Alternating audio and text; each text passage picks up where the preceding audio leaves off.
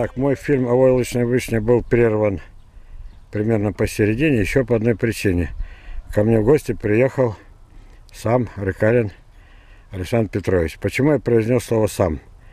Вот, знакомьтесь, лучший виноградарь. Это кто не знает. Вообще он известен хорошо. Но не, все равно так не бывает, чтобы все знали. А, Александр Петрович, это говорит Железов, вот, который уже, по-моему, имеет право э, на такие оценки. Лучший виноградарь с побережья Енисея отсюда и до Красноярска, это как минимум. А учитывая, что Красноярск это вам не это самое, не Сочи, наверное, и до Норильска, и до Северного океана. То есть правобережье, Красноярский край, э, вот, э, про Хакасию говорить не буду, там я не всех знаю. Но Красноярский край, вот он перед вами представлен. Он привел свою гостью. А, это милая женщина, милая девушка. Она еще и в аграрном институте учится. Вот, поэтому я э, Петровича принимаю как дорогого гостя. Сейчас я буду проводить дегустацию. Дело в том, что мне нужны объективные, э, объективные, как бы их назвать-то, не просто свидетели, а соучастники, но, но, но достаточно объективные. И вот еще его сын. Смотрите, что получается. Мы с вами э, я вам показал маточные, маточные войлочные вишни. Я вам показал вишню соседа, мелкую, абсолютно несъедобную. И сейчас мы э, подошли. А чем я буду в это время угощать? Черешни кончились вчера. Вот, сейчас, э, раз уж я загорел черешни, вот еще одну мы не обследовали. А, она еще вот она, зеленая.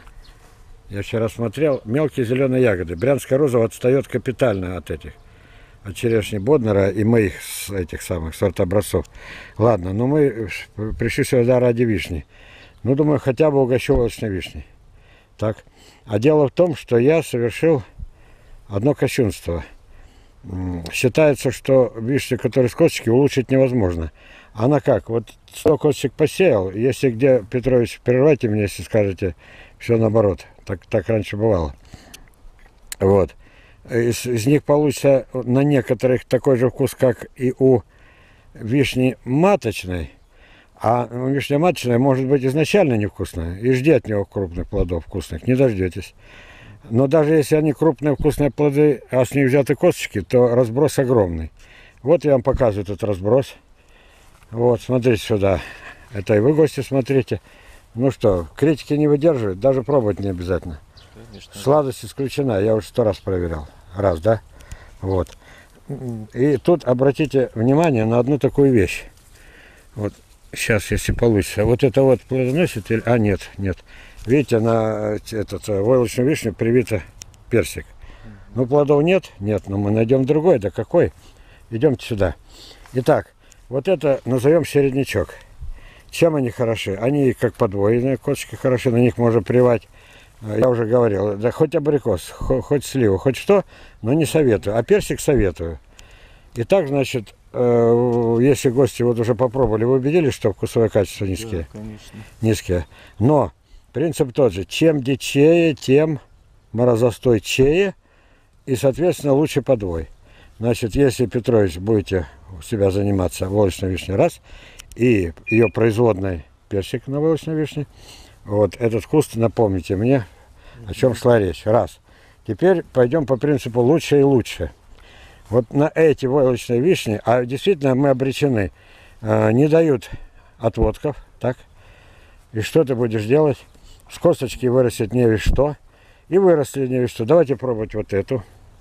Дело в том, что здесь был привит персик, и он погиб. А крупнее? Ягода немножко даже, по-моему. Ну, самый главный вкус. Мне интересует качество, сколько в ней сахара. Вот. Я вам предложу несколько. И хочу, чтобы вы провели настоящую дегустацию. Лучше? Лучше. Вот, э, согласны, молодой человек? Так, это, да. пошлите ученики ко мне, раз он на нашей стороне. Да. Теперь не все. Вот здесь был персиковый куст. Ну, то есть общий корень имел. Попробуйте вот эту. А сюрприз я приготовил напоследок. Да, загадка.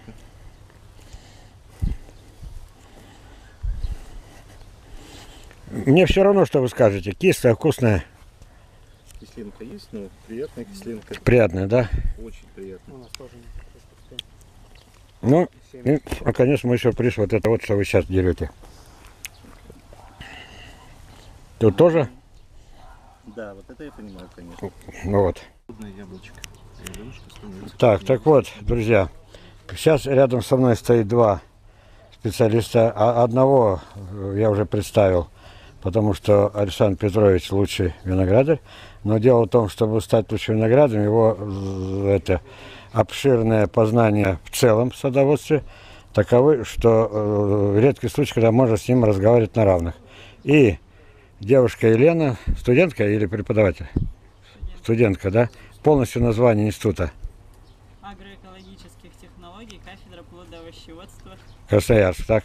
Дело в том, что единственный случай, у меня была студентка на практике, э, девушка Юля Матвеева из этого, из Омска. Ее чудом отпустили, чудом ее отчет о производстве практики признали, потому что она училась у садового любителя. Это вообще история скандальная почти. Так вот, значит, э, если вам предстоит сделать карьеру, если эти самые, все, о чем мы сейчас будем говорить, не будет признано наукой, вы можете стать таким же изгоем, как мы. Вот. Я, я, я кстати, я, Петрович, я за вашей карьерой не следил, вас, так? Вот. Вопрос, извините, я специально для прикола говорю.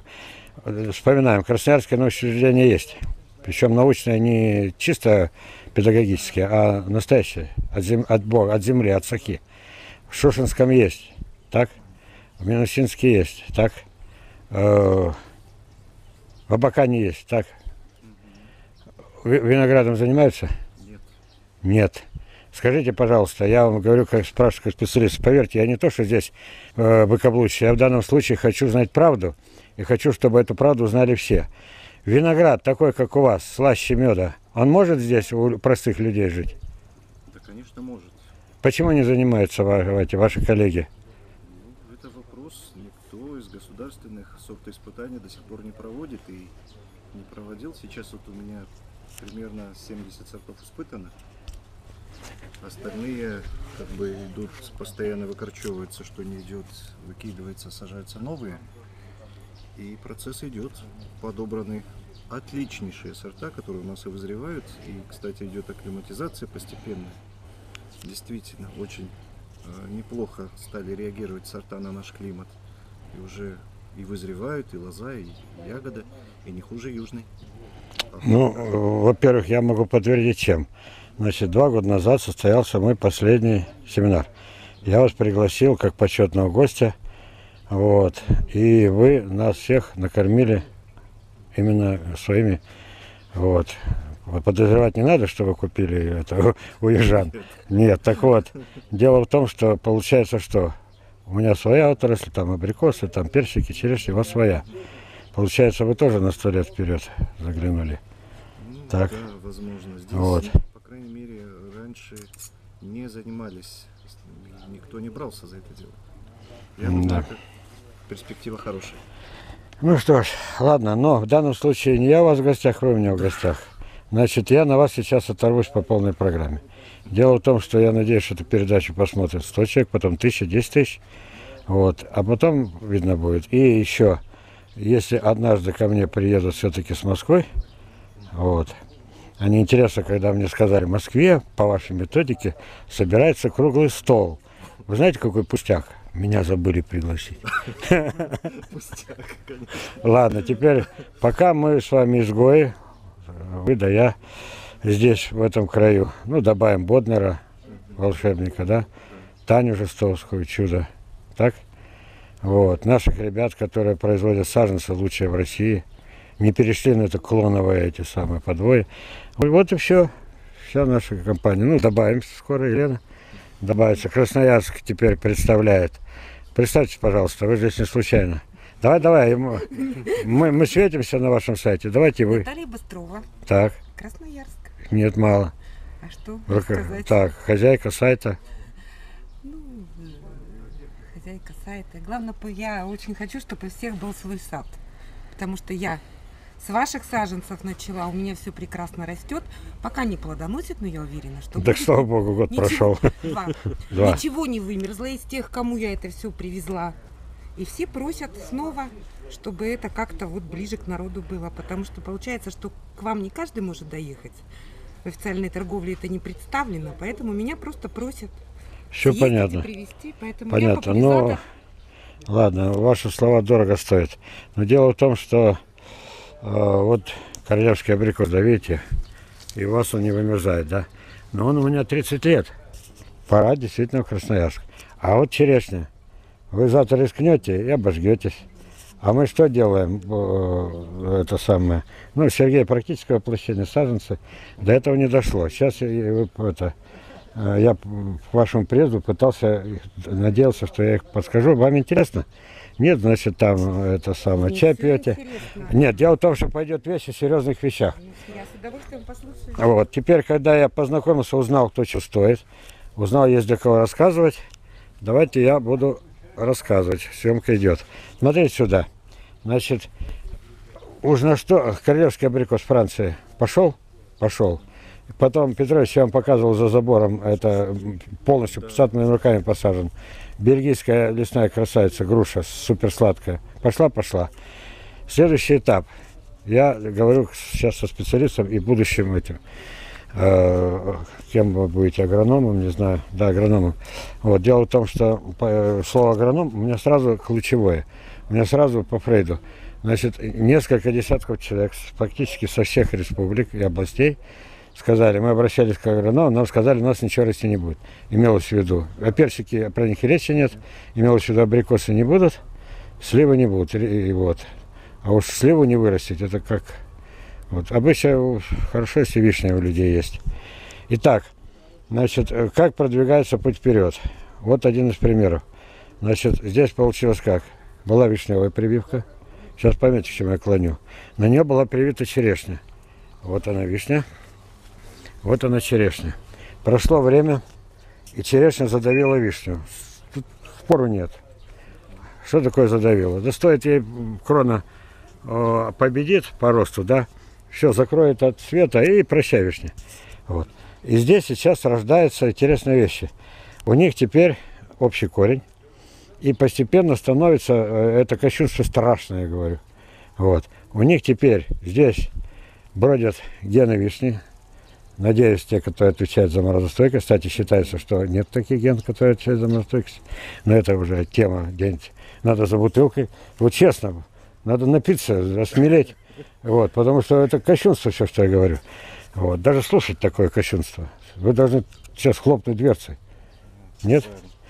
Вот, что- повторите, все правильно. Все правильно. Вот. Да, дело в том, что мы не первый день знакомы, вы примерно знаете, о чем я сейчас скажу. Ну, пусть будет для студентки. Итак, значит, здесь гены вишни, здесь гены черешни бродят. Вот, что получается? У меня бывало, до того добрали гены черешни, вишня погибала от мороза. Вот, чего я добился? А при этом косточка, э, э, плодик оставался кислый. Это крайний случай. Итак, исключаем случаи. Не- получили не морозостойкие и не вкусные. Не то, не то. Так?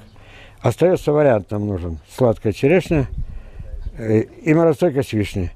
И я вам показал чуть раньше, мы проходили мимо, я вам показал плоды вот такие, э, здесь вот такие вот, явно вишня, черешня, гибрид. Так?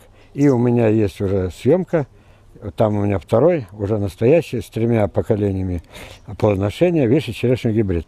То есть, вот это один из примеров, что получается. Вот Красноярск, это, там э, и вишни-то ни черта не, до сих пор расти не могут. Так же?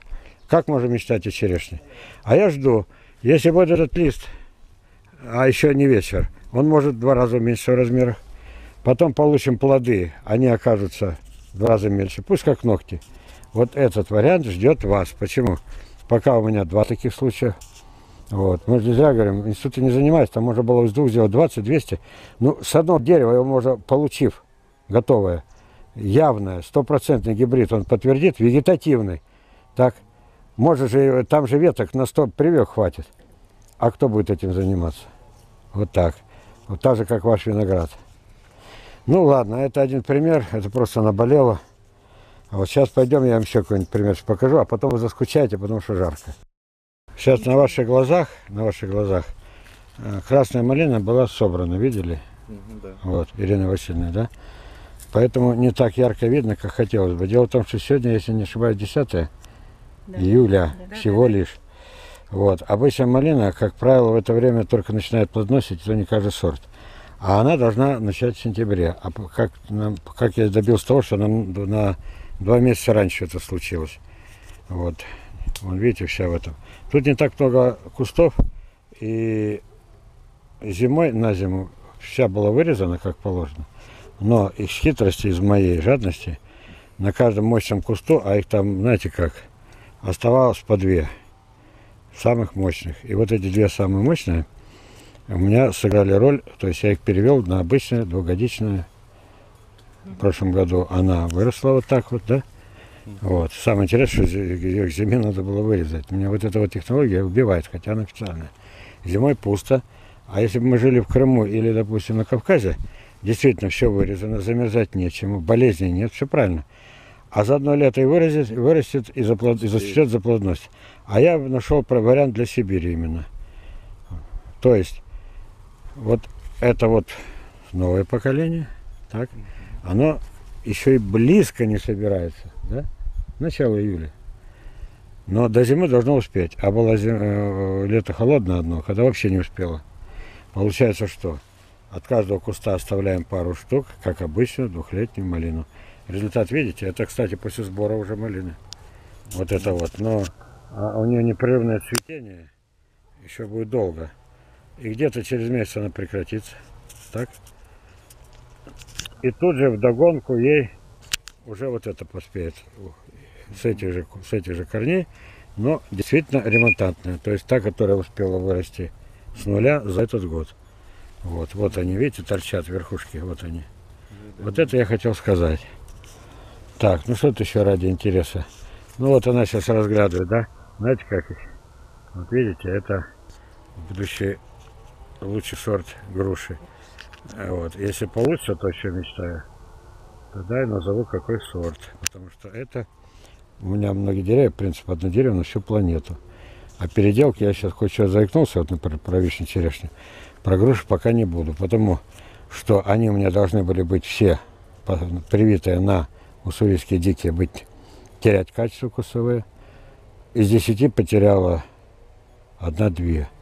А остальные даже улучшили, потому что когда ко мне с Новосибирска приехала дама с 40-летним стажем, уже пенсионерка, уже как просто дачница, и сказала, что 40 лет занималась грушами, вот, и таких ни разу не пробовала. То есть подвой отдельная тема, вот. Кстати, Петрович, с прошлого года много семян осталось. Хотите, поделюсь? Вот. Но это потом напомните, я забуду. Обещать-то легко, сами знаете. Так, супер слива перед вами. Эх, елки-палки. Супер слива. Ну, что я скажу, через два месяца это такой шедевр, когда ее разгрызаешь, обливаешься соком с головы до ног. А пока, ну как, зеленая, непонятная. Пойдемте дальше. Вот это когда-то была дорожка. Видите, что приходится делать? Вот вы меня подняли, да? Я вынужден, я боюсь отрезать, чтобы не искалечить дерево. Я вынужден вот так вот ходить на четвереньках. Вот. А вот так, смотрите, редчайшая из венгерок. А знаете, почему редчайшая? Вот. В этом году она измельчала, у нее были 100-граммовые плоды. Почему измельчала? Ну, видно, уже до 100 не дотянет. Но, тем не менее, э, ну, самое главное, в чем я убедился. Мороза вообще не чувствуется. Замечательная вещь, да? Вот. Пойдемте, удивлю вас. Вот так вот выглядят абрикосы. Тут их невиданное количество, но их очень плохо видно в листве. Так. Причем я, это самое такое место под названием смешанный сад. Здесь происходит, извините за женщин, зажмите уши, это происходит, так сказать, беспорядочные половые связи. Здесь самые роскошные абрикосы. Вон они, поглядите вдаль. Там уже сейчас плоды грамм 50, а будут 100. Вот. А иногда бывает и за 100. И тут же рядом растут дикари. Вот. А теперь смотрите, и тут же рядом растут другие шедевры. Вот, сейчас я вам покажу. Теперь пойдем сюда. А для чего я это показываю? Э, прямые половые связи – это здоровье деревьев, о чем меня предупреждали ученые, чтобы я такой бред больше не нес. Их это почему-то раздражает. А я говорю, беспорядочные половые связи – это здоровье деревьев. И что мне делать, если это действительно так? Потому что все как-то относятся к таким фразам, ну, почему-то как-то чисто, ну, с, с какими-то эмоциями. Хотя это действительно половые связи. Да, вот. И такие чудеса. Ведь вы глянитесь, сколько тут плодов. А вот когда все это зажелтеет, покраснеет, их окажется в 10 раз больше, чем вы видите. А вот они, настоящие мои дикари. Я сейчас сторонку отведу и покажу. Вот этим деревьям, самым взрослым, 6 лет. Да. Поверить трудно. Я сам не верю. Ущипните меня. Проснусь, а это ранетка. Пойдемте покажу самый крупный. Дело в том, что вы не помните, в каком году Курдюмов приезжал? Я же живу без памяти, ни одной записи, я, ни одной. И что получилось? Смотрите на вот эти гиганты, видите? На этого гиганта и вон на того гиганта. Вот это культурно, это дикий, да? Вроде, вроде бы он приезжал в 2011 Да, где-то. вот этот квадрат, он был куплен годом раньше, и когда он приезжал, здесь росли прививки однолетние. То есть примерно в 2010 посажен, а сейчас 2016. Допустим, на год ошибся. Туда им не 6 лет, а начало седьмого. Вот любуйтесь. Как это, как это происходит? Мы с вами подходили к манжурцу, гиганту. Так? Вот его последователи у меня лучшие за один год. То есть он сам вырастал за один год вот такой. А если на него привить, прививка на второй год э, становилась такой же, вот такой, и со скелетом. И потом приросты сумасшедшие. Да, конечно. Вот так вот. А вот вам антитеза, смотрите. Вот это вот абрикосики у моего соседа э, растет дикий э, а- амур. То есть не привитый, я его называю дикий, раз не привитый, да? Невкусные плоды по размеру, как, э, допустим, манжурец, но с окраской, почти с красной. И вот, и вот я примерно лет, это было 6 лет, 5 лет назад, я вот этот участок засаживал, а у него же косточки падали, порастали. А я жадности несколько выкопал. Так, и посадил. Смотрите. До сих пор. Видите? Вот. Это уже другое дело. Вот если где-то у людей близкие грунтовые воды, и они не гонятся за сахаром, вот их шанс. Вот такие вот. Потому что вот этот вот, и еще тут, еще где-то. А, я уже пересадил. Вот, вот этот вот, допустим, так. И вот этот вот, тут старше всего на год. Вот это.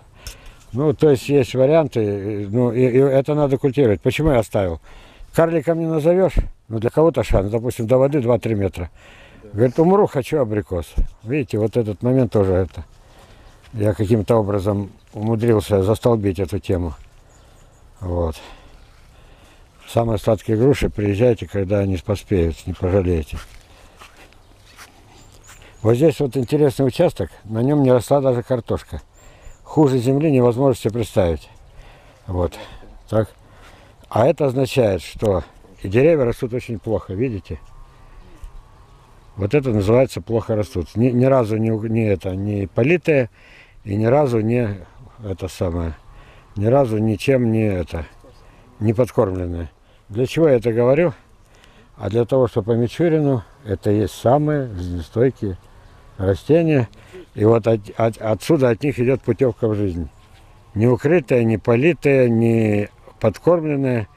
Вот. На самой бедной земле картошку бросили участок, продали, картошка не росла. Вот. И вот отсюда начинается дядя Ковина. Пойдемте еще персик покажу, и дальше мне вас жалко. Вот начинается персиковое царство. Вот видите, персик, персик. Так, вон персик. Они у вас не укрывные? Ну, естественно, уже не укрывные. Только один год Сергей обмотал два штуки, для- боялись, что это, все перчики померзнут. И когда он два обмотал, у него кончилось терпение. Вот видите, вот тут уже а, предоставим сами себе. Вот они первые персики, видите, вот они. Это первый урожай. Дерево жило в самых дичайших условиях. На них сухие ветки. Я с него веточки не брал, иначе бы оно уже погибло бы. Вот. Ну вот, пожалуйста, это вот первый встретился более-менее. Пойдем дальше. Пойдем дальше. Ну тут много и вес, смотрите, сколько всего. Это э, мата сенсата, он в чем заключается? Садится все без разбора. По принципу захочет выжить, сам выживет. Все. Вот такой принцип. И вот получается, кстати, жду первое плодоношение этой сливы. Никак, это, никогда не смотрю на бирки, что там, э, что будет. Вот сперва получу плоды, а потом наклонюсь, посмотрю, а что там на ней написано. Это мой принцип. Это просто для того, чтобы как лотерею. Многие играют в лотерею не потому, чтобы выиграть, а нервы пощекотать. И вот я щекочу нервы. Результат узнаю потом. И вот, наконец, персик. Раз, два, три. Раз, два, три. Четыре еще персика растут. Вот. На бирке написано сеянец минусинский. Вот. И этот сеянец минусинский, когда я добился стабильных урожаев, это год не показательный. Почему? И ветки пообрезал, и он начал болеть. Не болеть, а не помирать. Ну, в общем, видите, да? Вот. Надо было брать на прививку, надо было делиться. Вот. И вот этому перцу в этом году он весь болезненный. Вот. Я больше, наверное, не буду резать. Я ему дал новое имя. Почему? Персик Минусинский я дал такое имя, но это было временное. Теперь я назвал его Персик Бродский. Вот такой вот. Вот такой он, вот такой он, вот такой он. Персик Бродский. Все это не укрытое, все это за гранью реальности, все это вот вам мерещится. Вот так вот.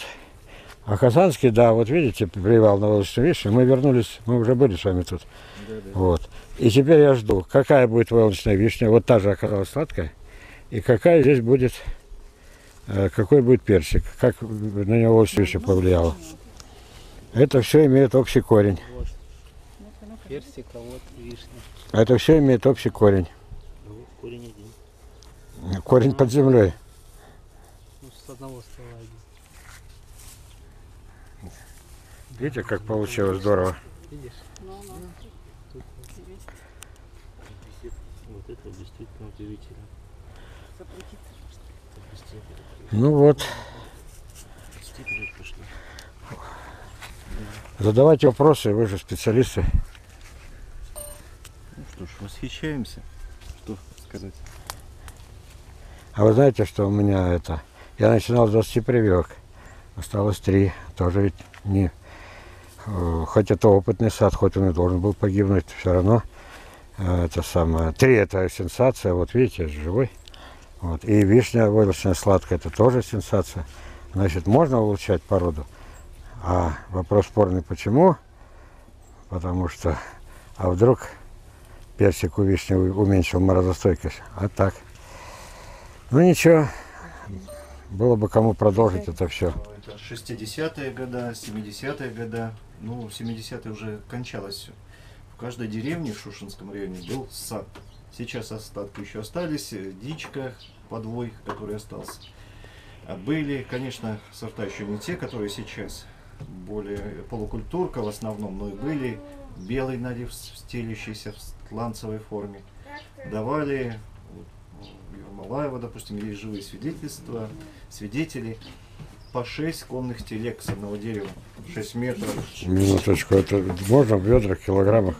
А, ну, это просто вот телега конная, простая. Можете в килограммах или ведрах? Ну, в килограммах даже не знаю, но за 200 килограмм с дерева. С дерева? Да, стелющаяся вот форма. Да. Вы серьезно говорите? Укрывали э, коноплёй. Может 200 штук? Нет, правда. Нет, нет, серьезно.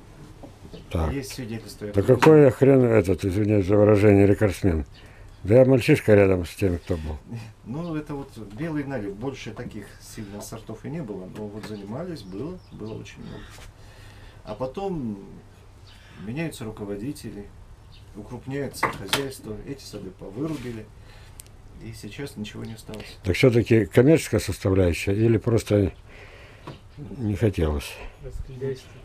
По-моему, просто не хотелось. Я сейчас не могу сказать, это вот как бы я еще был, только родился, или вот в то время, вот мои сестры еще помнят вот эти... м, Зависит от руководителей, по-видимому, такая линия пошла центрального руководства партии в то время. или- Но садов не стало. Все забросили, а чтобы никому не доставалось, просто их вырубали. Да. А Кальский сад знаменитый, вы там были хоть раз? Это на той стороне левобережья. Нет? Э, село Калы. Зато я был с директором разговаривал. Вот. Посадили до войны. Я сам зашел к директору и сказал, я хочу все знать. И он говорит, до сих пор, говорит, через год, а это было 10 лет назад разговор, ой, вру, 20 лет назад, сейчас его нет. Но он был все-таки такой пользу принес, он столько пережил, этот сад. И конец был печальный, почему?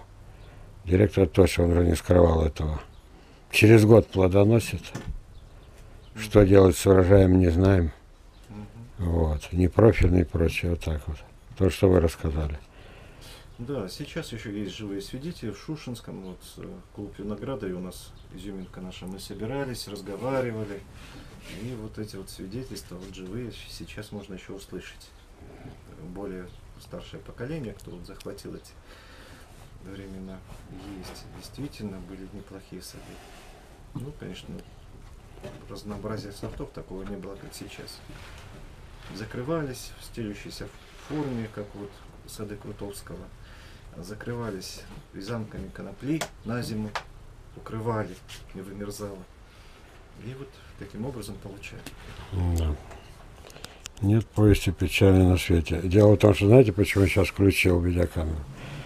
Потому что э, ваша собеседница минуты назад что спросила, а есть ли промышленные сады и почему их нет? Потому что ответ нет. И второй вопрос, а почему нет? И дальше вы начали говорить про спонсоров, да, где они? А зачем им сад- сады? Мне единственное, что убивает, то, что вот новорусские, те, кто еще не на Западе, дети и внуки, они же их отравой кормят. Ведь, наверное, на бедных на столах хорошо, если морковка, да? Там, допустим, овощи какие-то, там картошка. А на богатом столе что обязательно будут эти роскошные яблоки, канадские, там обязательно будут французские груши. Вот. А это все отрава. И не, не боятся, и это. Ну, да все ясно. Дальше говорить мы сейчас настроение себе испортим. Выключаю. Знаете, вот э, в деревнях как элемент культуры. Да. Мне кажется, был всегда клуб, библиотека. И что такое еще сад. культурное? У нас сад, свой сад. Наверное, Сад они его использовали, может быть, как парк даже, да, во многом. Гуляли там и так далее. Но мне кажется, это элемент был культуры. Но это была европейская Россия, а в Сибири разве было?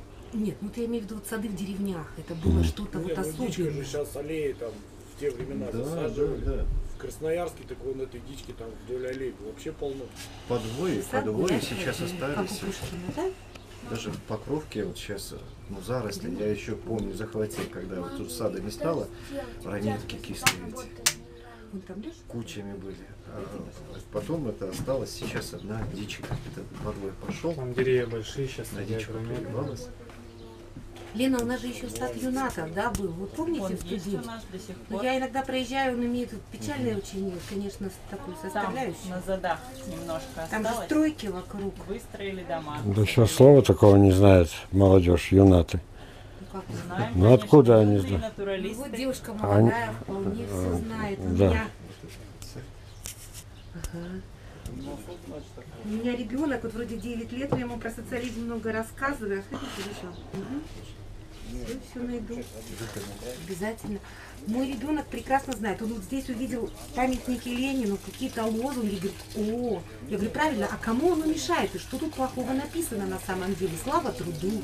Что в этом плохого? Никто не стеснялся работать. И раньше профессия агроном это была ты был первый человек в селе. А сейчас я, когда своим родственникам рассказываю, что я учусь на агронома, Они всем знакомым рассказывают, она ландшафтный архитектор. Потом, значит, как-то Да. начали. Потом стали одна мне родственница говорит, ну и что ты фермершей станешь? С таким презрением, как будто человек, который работает на земле, это вообще фи. А сейчас она, правда, стала говорить, да, агроном, перестали стесняться.